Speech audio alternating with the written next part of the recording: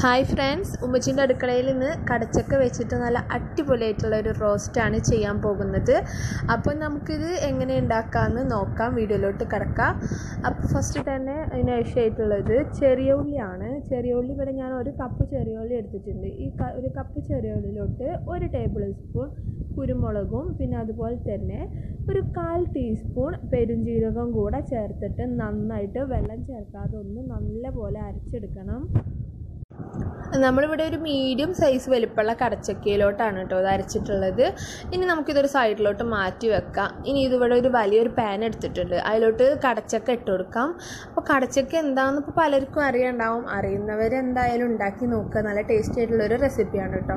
പിന്നെ പ്രത്യേകം ശ്രദ്ധിക്കുക കടച്ചക്ക മുറിക്കുമ്പോൾ വളരെ നൈസായിട്ട് ഇതുപോലെ വളരെ തിന്നായിട്ട് വേണം മുറിച്ചെടുക്കാൻ ഒരുപാട് കട്ടിയിലുണ്ടെങ്കിൽ ടേസ്റ്റ് ഉണ്ടാവില്ല. നമ്മൾ കൂണൊക്കെ വെക്കുന്നത് പോലത്തെ ടേസ്റ്റ് കിട്ടാൻ വേണ്ടിയിട്ടാണ് വളരെ നൈസായിട്ട് ചെയ്യാൻ പറയണത്. അപ്പോൾ ഈ ഒരു കടച്ചക്കയിലോട്ട് നമുക്ക് എന്ത് ചെയ്യാം? നമ്മൾ അരച്ച് വെച്ചിട്ടുള്ള ആ ഉള്ളിയുടെ ചെറിയ ഉള്ളിയുടെ അരപ്പ് ചേർത്ത് കൊടുക്കാം.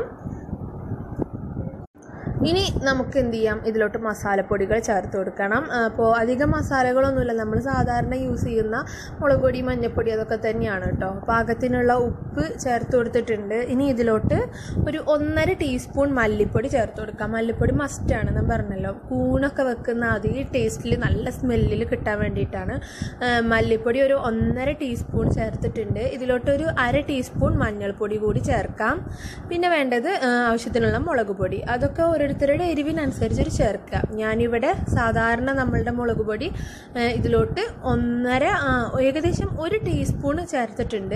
അപ്പോൾ നല്ല എരിവുണ്ട് കേട്ടോ ഒരു ടീസ്പൂണ് ടു ഒന്നര ടീസ്പൂൺ വരെ നമുക്ക് മുളക് പൊടി ചേർത്ത് കൊടുക്കാം. നല്ല എരിവ് വേണമെങ്കിൽ ഒന്നര ചേർക്കാം. പിന്നെ ഇതിലോട്ട് നമുക്ക് എന്ത് ചെയ്യാം? ആവശ്യത്തിനുള്ള വെള്ളം കൂടെ ചേർക്കാം. പിന്നെ ഒരുപാട് എരിവിന്റെ ആവശ്യമില്ല. കാരണം നമ്മൾ കുരുമുളകും ചേർത്തിട്ടുണ്ട്. അപ്പോൾ ഞങ്ങൾ നല്ല എരിവ് യൂസ് ചെയ്യുന്ന ആളുകളാണ്. അപ്പോൾ അതുകൊണ്ട് തന്നെ എരിവ് വളരെ കുറവുള്ളവർക്ക് ഒരു മുക്കാൽ ടീസ്പൂൺ കുരു ആ, മുളക് പൊടിയൊക്കെ ചേർത്താൽ മതിയാവും.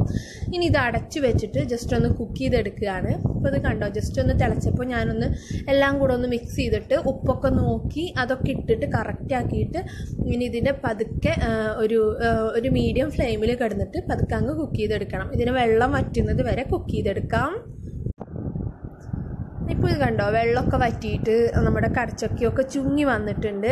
അല്ല കറക്റ്റ് ആ ഒരു പരുവായിട്ടുണ്ട്. നല്ല റോസ്റ്റായിട്ട് വന്നിട്ടുണ്ട്.